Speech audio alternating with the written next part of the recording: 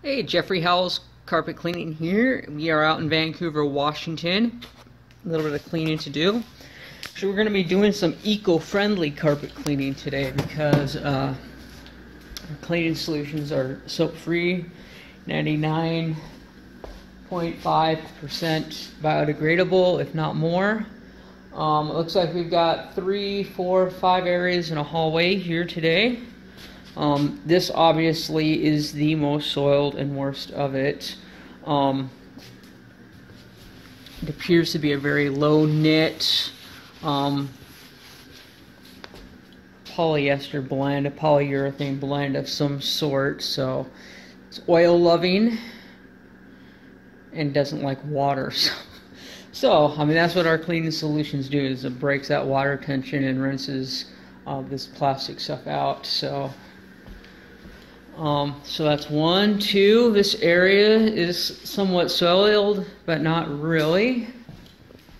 Got this hallway, and there is tons of debris in the carpeting. I did rub my hand across the the piling. There's a whole bunch of debris that was coming up. So, uh, of course, we're gonna do our super vacuum because that's what we're we're known for. And here's bedroom number two. Nothing out of the ordinary. Just regular closets, no walk-in closet in the master here. Probably already came in here. So, okay, here we got a nice red spot. Goody goody. These always look good on videos because they come out and they're like, oh my gosh, how did you do that? Well, you're going to see how we do that. And then bedroom three down here. Oh, got a little tiny closet. Bedroom here and another red spot, lo and behold. So, um, again, these look awesome on video, you guys, and I'll show you how to take them out in less than a minute. Well, it might take a little bit more than that, but once you know the technique and the product to use, they're very simple to remove. But anyways, we're going to go through, we're going to give it a super vac, we're going to pre-treat with our vac away awesome products, and then we are going to hot water extract and the carpets are going to turn out absolutely beautiful. This right here is the reason for why we keep these uh, water faucet keys on hand because you never know when you're run into this situation. Typically it's in apartment complexes, but uh, in this case it's residential. And if you see on there, I also have tied on there, zip tied a couple of uh, rubber gasket washers um, for for hoses because um, you never know when you're going to spring a leak or when you're going to lose the gasket out of your hose or what you might need it for. And I'm telling you, leaks, as these dumb as they may sound, they're a pain in the butt if you don't have the right equipment with you. So make sure you cover all your bases when you're out and about. Okay, so a properly set vacuum cleaner, um, I use the Kirby because it is extremely powerful. It's got like a 7 amp motor and uh, it's got great airflow and suction. Picks up tons of debris. It's got a good beater bar under there. And the height adjustment allows us to set it at a proper height on the carpet. So basically what you do is you turn it on you begin lowering this guy down notch by notch until you hear it audibly make contact with the carpet. Boom, one more, and that's your sweet spot. You're going to be getting way more uh, debris out of the carpeting at that height than any other height possible. And I know this from experience, and I know it from talking to other carpet cleaners or other uh, tenants and homeowners that I uh, instructed them how to set their vacuum cleaner, and they claim that they were able to pick up twice as much debris afterwards. Um, not only have I experienced, but it's also the testimonies of other people that had absolutely no clue that if you uh, increase the air volume going through your vacuum, that you're also increasing suction and airflow and everything else. so you're actually able to pick up more debris. Sometimes it's a little counterintuitive because you think you want to drop that beater bar as close to the carpets to beat stuff out of it as possible. But uh, really, it's having to do a lot more with airflow and um, the beating action on the carpets. Um, I, I don't want to say it's secondary because it's really what causes a vacuum cleaner to be effective. But um, think about beating the carpets and bouncing that debris up and not having any suction to suck anything up because that's what happens when you lower it too too much and then you cut off that airflow so we're going to do an extremely good job and we are going to go over and get a whole bunch of debris out of this carpet alright for this red stain remover what we're going to do to treat the stains we uh, we pre-treated it with uh, Red One by Pro Choice. It's probably one of the best synthetic dye removers available. And then we are going to steam it out with this wallpaper stripper. Again, this is a 1988 product that they Black & Decker doesn't make this Steamworks um, wallpaper stripper anymore. However, you can buy them on eBay for like 35 bucks. Or you can buy the newer Namco version that does the exact same thing, and I believe they're about 100 and between 150 and 165 bucks. So do the math and kind of do what you want there. Um, I want this route because it's one of those things when you know you do that you can do when you know sort of a, deal. Um, I saw it. I was like, oh, sweet. I'm going to check this guy out. So um, we're going to go ahead, turn it on, and all it's going to do is blast steam into the carpet. Technically, you can use a clothes iron to do the exact same thing. However, this is just pushing out steam, so you know as hot as steam is, it's not getting any hotter than that. So you don't have to worry about uh, uh, burning carpet fibers or anything like that that you run into with a uh, hot iron, because a hot iron will melt carpeting if you're not careful. This will not melt carpeting. However, you can cause discoloration if you're using the wrong cleaning product on here. So um, there's a good chance that if I dump some ammonia on there and uh, started using this steamer that I would just color the carpets. However, the ammonia, there's, there's a chance that the ammonia would pull that stain out, no problem. But I would just have to babysit it and watch it and make sure that I'm not causing discoloration at the same time. Um, and there there are ways of correcting the issue if you do cause discoloration, but that goes out of scope of what we're doing. I'm just going to go ahead and set that on, continue vacuuming, and come back and show you the results. Alright, this has been on there for a couple minutes. We'll go ahead and pull it off and see what we got here. So what I'm going to do, shut our heat off, slide this guy over.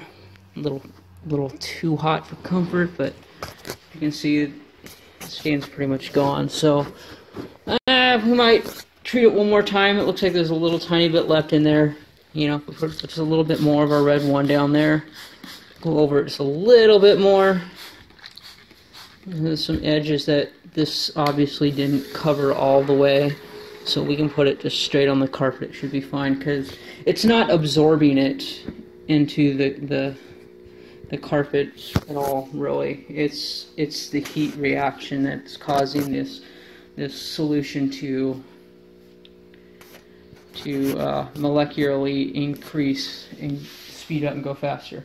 Now, your customers are looking for a carpet cleaning that carpet cleaner that is both professional and very confident in what they're doing. And doing a display like this is a winner because uh, the customer's like, oh my gosh, how did you do that? This guy knows exactly what he's doing. And um, yeah, you could call Stanley Steamer or another uh, franchise carpet cleaner, but you never know who's going to be actually coming to your door. Uh, one thing is sure is that some urine stained color van is going to pull up in your driveway, but other than that, you have no idea who it is. So, uh, anyways, it's one of the difference between franchise and owner operated businesses. Okay, as you can see, red stain is 100% gone. Not a trace, no discoloration. Absolutely beautiful. So we went ahead and we pre-treated with our stain one over here, or a red one over here on this red stain. We went ahead and put the uh, carpet wallpaper steamer on there and it is currently pulling that out. So as it's pulling that out, we're going to go pre-vacuum that, that bedroom and then we'll come back and take a look at this. Alright, let's move this off and see what we got. Lo and behold, this is not a synthetic dye stain. Um, obviously, I kind of did this on purpose because it's a square and that to me is an indicator that it's probably furniture transfer anyways, but I went ahead and did that just so that we could come across this scenario. So what I'm going to do is I am going to get uh, some furniture stain remover and apply it on there and see if it has any better luck. Okay, so that's where that nasty red square was. It was right in here. Um, you can still see slightly a little hue, so what we'll probably do is put a little bit of our uh, red one over there and see if that will get up any more coloring. I, you don't even really see it except for the camera. I mean, naked eye, you can't see anything.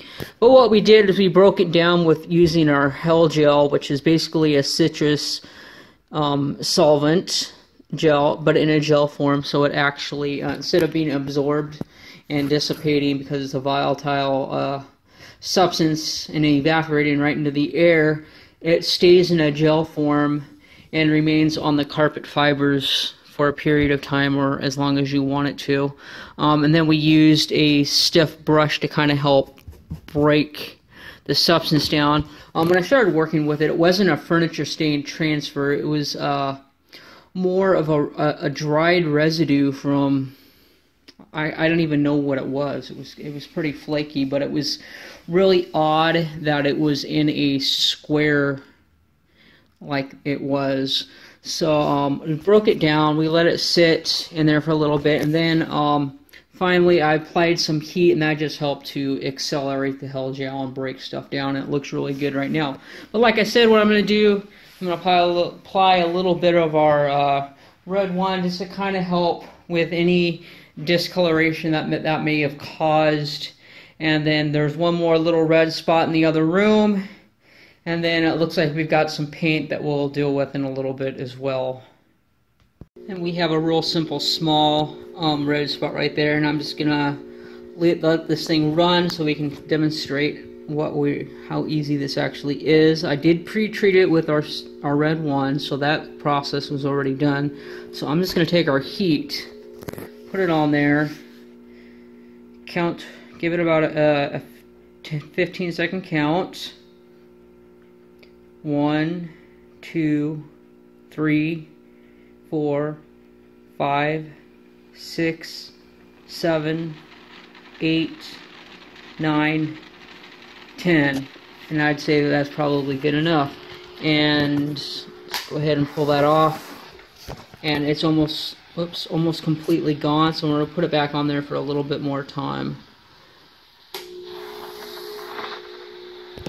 Then it should be completely gone. Now, I'm not sure if that will come out, if that's paint or what that is. We'll, we'll go ahead and try it anyways to see what, what that those little spots do. So I'm going to put the phone down, grab our one red one, treat it, and see what happens.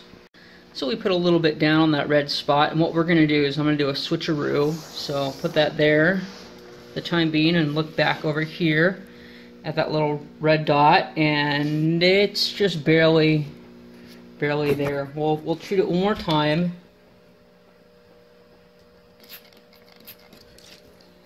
And then we'll put the steam back on it for another 15 seconds or so and see what happens. Okay, we're going to do a switcheroo now. We're going to pull the steam off here. Find that little red dot, which is right there. And looking back at this spot, you can see that mm, the stain one didn't, red one didn't do anything. So, I'm going to go grab our Hell Gel and see if that will do anything. While this is steaming, and then that should be gone. Okay, we're steam, steam, steaming away. Let's go ahead and check that little spot. And lo and behold, it's completely gone. I don't see it now. Um, we went ahead and put our hell gel on that. Let it sit for a little bit, and as you can see, we can agitate it a little bit. using a coarse brush here.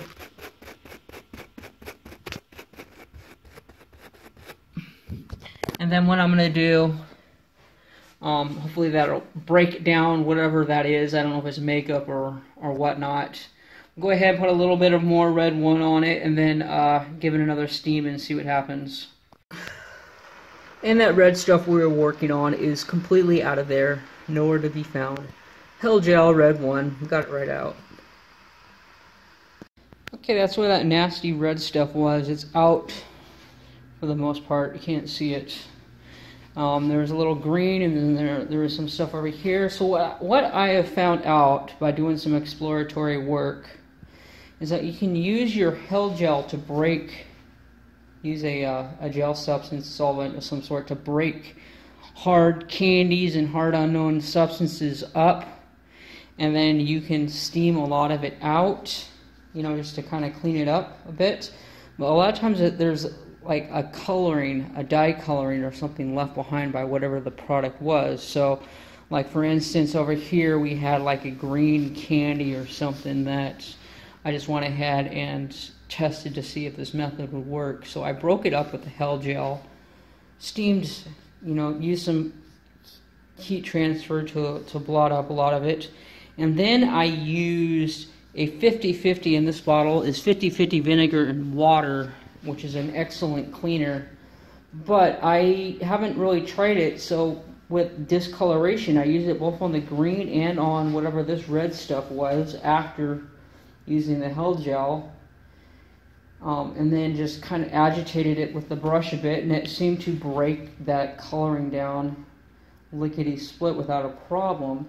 Um, applying the heat a little bit may help it a little. I don't know. I didn't notice it helping too much, but just adding that that vinegar water down there and um, allowing the, the fibers to absorb it. So just spill a little bit down on there, get it wet, and then use that uh, terry cloth towel um, brush. You want to be careful on soft fibers such as uh, cotton and natural fibers like wool. You'd probably be ripping them and shredding them apart. So you want to be careful. Here we're absolutely fine because we're not really with much of any piling. Um, I might try a little bit, explore on whatever this discoloration is, of the orange down there. Um, I'll go ahead and try the same method. I'll try a little bit of Hell Gel, give it a little heat, and then give it, you know, a little bit of agitation with some water vinegar mix and see what kind of results we can get from that. And the orange is 100% gone from the carpeting, whatever it was. So these carpeting in this room have been completely restored. Now we'll move into the next room and see if there's anything over there. And coming into this area, about the only thing that looks like it might need a little bit of help is this spot right here, which could be rust, it could be grease, I'm not really sure. It sort of looks like where a couch may have been sitting here, and that could be grease or rust. So before breaking out the rust cleaner, because it's out in the, the van right now, I'm just going to put some Hell Gel on there and see if it'll eat away at any of that stuff, that greasy, nasty stuff, and then that will be a clear indication as to what it is and what to do from there. So the Hell Gel seems to be chewing it up, so I don't think there's any need to be concerned with it. So I'm just going to go ahead and use our uh, regular peroxide-based cleaning solution. It should clean that right up. Um, included with that peroxide-based cleaning solution is some high pH perox or high, high pH um, grease hog, which has citrus in it. So it'll pretty much be like a, a probably a weaker version of this, but it will be more wet and get absorbed a lot more into the fibers and hopefully do a better job than what the, the Hell Gel will do. Anyways, um, of course, this is probably about six times, six to ten more times expensive than than the the Grease Hog product. Anyways, so. We're going to go ahead, complete our pre-vacuum, and then get right on to our uh, pre-treatment and agitation. All right, with the uh, completion of a complete dry debris removal with a vacuum, we were able to probably remove three to five pounds of debris. It filled up an entire Kirby bag, so we got all the debris out. We, we uh, were aiming to get out, and the carpets look a lot lighter already, but we still haven't performed our soil suspension. What this soil suspension is, it's a very high grade. Uh, carpet pre-spray that we put down on the carpets and what it does and then once we agitate it with our CRB machine there you can see it's uh, there's a couple of counter rotating brushes on there so it's actually grooming that solution into your carpeting it's not rotary cleaning where you're smashing and crushing your carpet fibers and all that but this is grooming it in and what is, the soil suspension does is it breaks dirt, grease, residues, and things from your carpet fibers that did not get released with a, a vacuum. And it breaks it up, it releases it. And technically, you could just leave it at that point. And um, when it's dry, you can just vacuum it up with a vacuum cleaner, and your carpets is just as good as, or actually more thoroughly clean than um, than hot water extraction, steam cleaning. Um, I've seen some sites looking over some information the other night, last night, and they were making claims that hot water extraction, steam cleaning, uh, cleans 92% of the debris in the carpet, which is a bold, flat out lie because uh, you take any uh, carpet certification courses and you learn that roughly 40 to 65% of the water used to clean your carpets actually remains in the carpets, which means that they're a lot less than 92% clean. So, um, with that said, I don't really have a dog in the fight because I perform both the uh, the hot water extraction and the very low moisture cleaning. So, um, I prefer to come at it as a hybrid approach and actually combine um, VLM with HWE. VLM being very low moisture and HWE being hot water extraction. Those are your two main sources or methods for carpet cleaning. Um, yes, steam cleaning is hot water extraction. Um, people try to claim that they're different, but they're not. So Okay, we're going to go from there, give things a good soil suspension, and see what needs to be done after that. So many times, the soil uh, suspension process that we use when we're using our mechanical um, agitation with the CRB going through is so drastic that uh, the customer thinks that we've already cleaned their carpet, which we haven't. All we did was pre-agitate. But uh, you can see a lot of soil suspension has occurred and we got a lot of hair, I mean tons of animal hair out of the carpeting with our CRB which that's its purpose. It pulls out all that hair and that hair causes the carpets to smell, um, causes odor. Not only that, it causes the carpets to become kind of dingy looking. That's why they look brighter now and it's not necessarily that you can see the matted hair in there but the carpets look more matted like right now the piling looks like it's up more it looks like it's there's more depth to it and that's because we pulled out immense amounts of debris from the carpets um, full Kirby bag plus uh, hey we loaded this tray up with debris as well I don't know if you can see it in the light everything from Looks like little bits and pieces of wood and maybe kitty litter, tons of hair. This is just the matted nest that gets in the carpet. Um, there's a lot, a lot here. Um, yeah, anyways, so there you have it. We're, then we're going to go back through. Got the truck fired up and we're going to steam clean everything just to, I call it the icing on the cake. It kind of just pulls the layer off Mainly, we only really need it here because there's some dirt that's down pretty deep here that I think that we need to pull out. As you can see, the greasy nast that was here is completely obliterated. And I think we're going to be looking pretty darn good.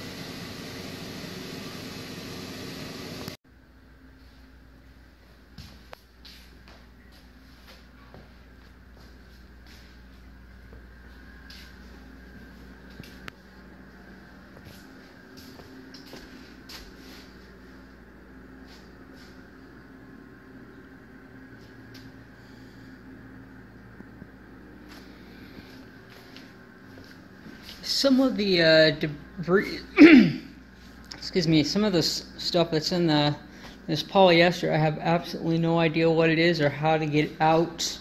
Um, I went over and over and over and gave it this all we got. I super beefed up our uh, our cleaning rinse pre-spray. Um, rinse and rinse and rinse that that traffic area or probably a foot area, couch here and feet there. I mean, it was completely black when we came in, and this looks, um, I'd say 90% better. Um, personally, I wish I could have would be able to do better than that, but this is the best that we could possibly do. Um, gave it a full everything. You saw the amount of debris that came out of the carpeting. We had a full bag of uh, bag of debris that came out. On top of that, we had a full um, reservoir tray off our CRB that was filled up. Um, those are gallon trays, so um, one of those trays can hold a lot of debris, and I would say that that tray is probably three quarters of the way filled up at least. So it pulled all kinds of hair and stuff out of the carpeting. So they are much cleaner. They're sanitized and neutralized. They're deodorized. Smells much better in here. It just looks ugly because the uh, polyester carpeting kind of took a hit in here. But anyways, Geoffrey, how's carpet cleaning? Do restoration cleaning. You got questions on any carpets? Give me a call directly, 503 939 0534. Until next time, have an awesome day keep it safe, and keep it real.